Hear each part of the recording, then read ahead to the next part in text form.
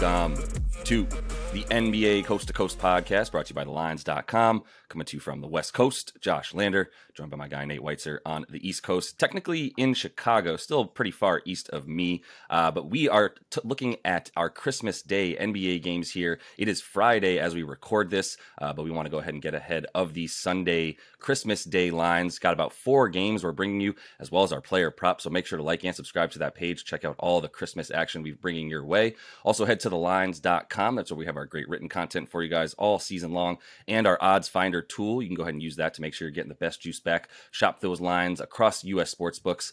Uh, Nate, let's get into this five day Christmas Day slate. And then our first game that we're talking about here the Knicks are playing host to the 76ers. Yeah, and we're reading the lines to you as of Friday. Everybody in the NBA basically playing on Friday, so things might adjust uh, if there's injury news or if teams look particularly good or bad in those games. Um, like you said, stay on top of it. But we got Sixers minus two and a half at the Knicks, total of 219, followed by Lakers plus seven and a half at the Mavs, 226 total. The Bucks plus four at Celtics, 223 is the total. Memphis minus four at the Warriors, and that's 227. And then the only game we're not going to break down for you because Lord knows we don't know what's going to happen with the Suns lately. Uh, plus three Phoenix at Denver, and that totals at 230. So, I mean, the first game of the day here, it's going to be a noon start at Madison Square Garden. Uh, generally, things are a little sleepy when NBA players are asked to play at noon on a Sunday. Um, especially on relatively short rest as they played Friday night. So we have seen some unders for sure lately. Uh, both these teams when they've played on Christmas Day.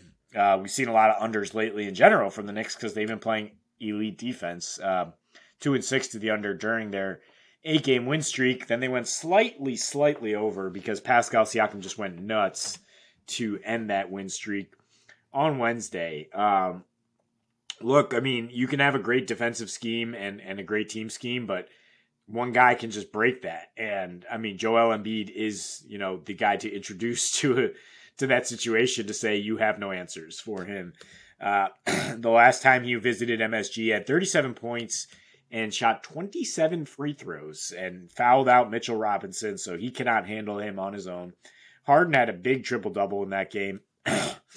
also shot 10 free throws.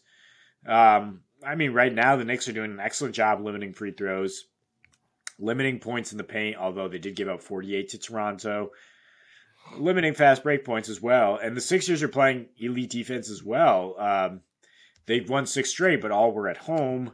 103 defensive rating, um, holding opponents to 31% from three and the highest turnover rate as well during that span. And then their offense very efficient from three. I kind of look at the discrepancy uh, both at the free throw line and from beyond the arc as the biggest reason to, to favor the Sixers. And a lot of that is Embiid just tipping the scales of the floor, right? Where you can't handle him one on one.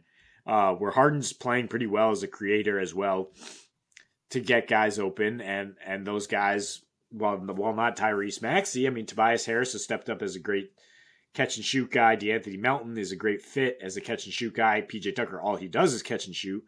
Um, they've you know they've settled into their roles. Everybody on this Philly team, and that's you know to play around those two the two man game, get ready to shoot, and then go back and play elite defense. So I think the combination of those things they've hit their stride. We've seen the Knicks not really be able to get it done against the best of the best, and Philly now is back in that conversation with Milwaukee and Boston as and Brooklyn. Uh, let's let's not count on Brooklyn right now as, as the best teams in the East. They're playing very well on both sides of the ball. So at minus two or three, where where it might settle at, uh, I definitely would take the Sixers here. Yeah, I, I think that's a good starting point. You you kind of hit on the end there that the Knicks don't really play well against the top competition. Um, a lot of stuff we talked about during their win streak was going ten and four at that point in the season straight up when they are favored. Uh, so when they're favored, they they, they handle business uh, regardless of what that spread is. When they're not favored at home, especially, they are one and three against that spread. They're failing to cover by like six points. Um, they, they, just don't do quite as well when uh, against these top tier teams and and these top tier teams uh, in the East. You know, I, I was a little bit worried about that Raptors game just from the standpoint of not only the Knicks being on a win streak and it having to come to an end, but the Raptors being on a losing streak and that needing to come to an end as well. And I think they had a lot to play for there. I would say the same about the Sixers. I'm not saying that they're like they're, they're not in the tank. They've actually they're on that win streak uh, that you're talking about here uh, ever since they got James Harden back.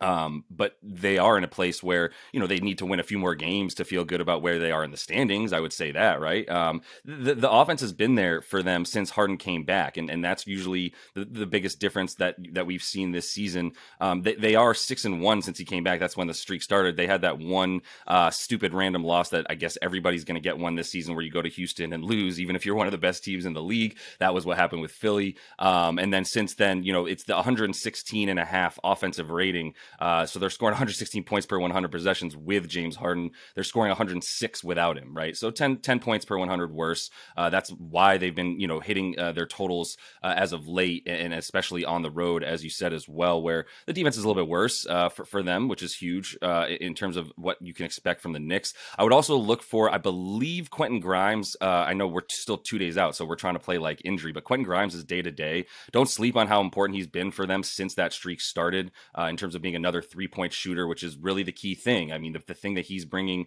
uh, that he has that that hasn't been there when you've got guys like Derrick Rose and Evan Fournier playing is the ability to shoot from deep uh, consistently. So he, he's if he's not in as well, I, I don't like their ability to hang with Philly nearly as much. I know that sounds like a random guy to throw out there, but he's been super important for them uh, since this streak started. So has Mitchell Robinson, and he's him coming back and getting into form has been the reason that they've been the best defensive team in the league. On top of you know guys stepping up and, and not playing old guys that can't hang anymore on defense.